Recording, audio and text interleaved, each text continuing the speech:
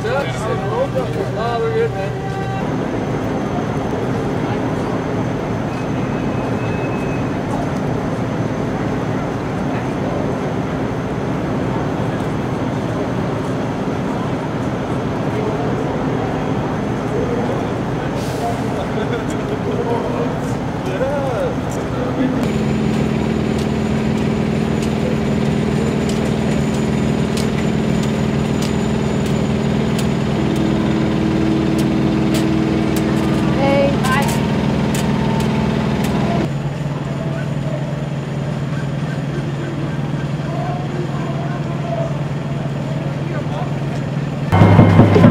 That